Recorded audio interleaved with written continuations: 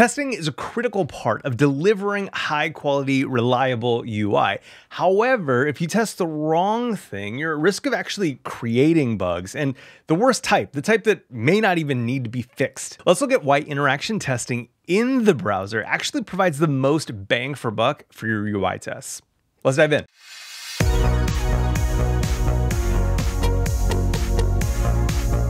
Okay, so before we start, check out the tic-tac-toe tutorial on the React docs. We won't go through this tutorial here, but we will use the final state of the tutorial as our starting point for interaction testing.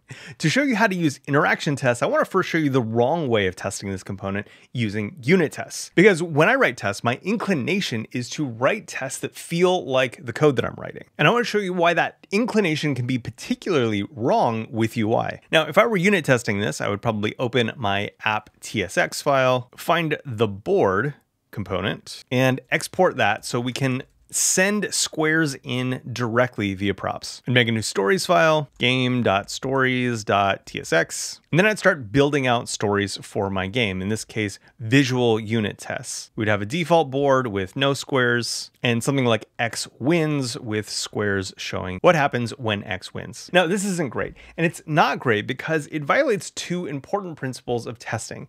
One, that private functions should be tested through public interfaces, and two, that test data should represent real world data. But instead, I've created a scenario where I can pass in data that's an impossible state. X can't play three turns in a row. Let's fast forward this to a particularly egregious test, simulating a tie. I'll paste this in and at first blush, it looks totally reasonable, but the result is another impossible state. We see that the next player should be O, but if you look at the numbers, there are more O's on the board than there are X's. This state would never happen in a real game. And because it's wrong in this test, we may be inclined to fix it as a bug, even though a user would never see it. Let's stop doing things the wrong way and start doing them the right way. First, we'll paste in a basic template for a component. This time, instead of board, we're going to import the already exported component game. We export our component meta and a story. The rest is just TypeScript. Now, Storybook uses testing library for all its interaction tests. We'll notice right away that we have a problem. It's not a rendering problem because the board renders and we can even play a game inside of Storybook. But testing library intentionally applies some virtuous friction by forcing us to query the DOM only by content available to assistive technologies. if we take a look at this element, we have nothing to grab it by. And because we've chosen to test like our users will use this app, we notice that all of these are just generic button. So let's fix that. Jump back into app, find the square component, add an index and an index type. And finally, we'll add an aria label to this element. Now, this will be a fairly complex name, so let's create a function for it and create it.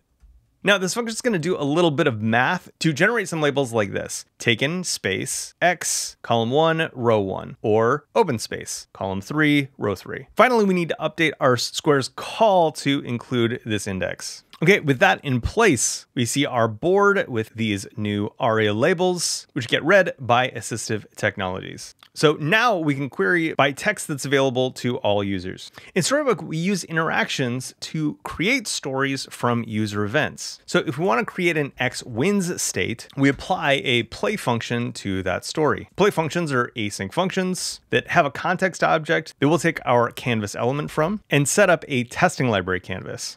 Now we can query our canvas with the find by label text and then use our string open space, column one, row one. And once we have it, we can await a user event, in this case, click on that space. Let's see what we have so far and see what we get. We have an X wins story that uses our label text to click this first square. Unlike our previous attempt, we're actually simulating a game of tic-tac-toe using this game component. We can even carry on but let's not get carried away. So up to this point, we've created these visual tests or stories, but we haven't codified any of our expectations. Let's do that now by adding jest, specifically the expect function. Now we can add an expectation that at the end of this, we should expect the canvas element to find by text the canvas to get by text winner X. We expect this to be in the document. Now we see something interesting. In our X wins state, we play our interactions, but then we also see that this whole interaction has failed. Yes, we have an open space. Yes, we clicked on that open space, but we don't see winner X. And we can verify that visually. And common sense will tell us that's because X hasn't won yet. So let's add interactions to make that the case. My inclination is to pull this out into a function so that we're only repeating the numbers. We'll interpolate column and row and wrap this up into an async function